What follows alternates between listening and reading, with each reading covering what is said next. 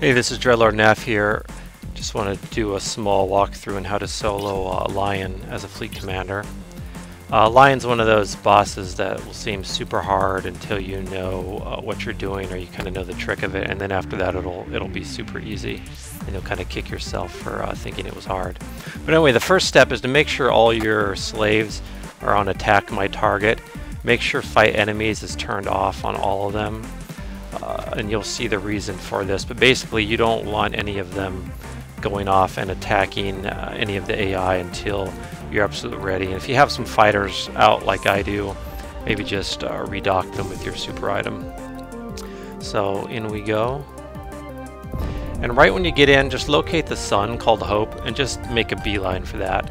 Ignore all the all the AI shooting you, ignore everything else, just get close to the sun Hope. They're going to damage you a little bit, but it's okay. It's not going to be too much. And basically what you want to do is just want to get all your ships in the sun's aura. That will prevent Lion's aura from killing you.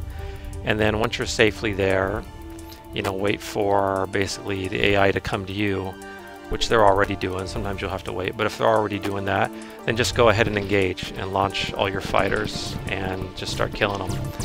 But all you got to do is just make sure to stay uh, just stay in the aura the whole time and, and you should be fine.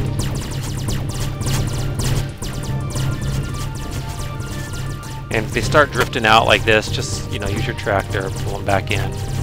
Keep everyone within that sun's aura. And as you can see, he's he's going down. I kind of got lucky shooting the real one first off, but if it's, you know, if you shoot the fake ones first, that's fine. Just keep killing them until you get the main one. And, uh, and, you can see how easy that was. And you can do this without fighters too. I used to do this when I just had, you know, direct damage slaves along with some wild slaves.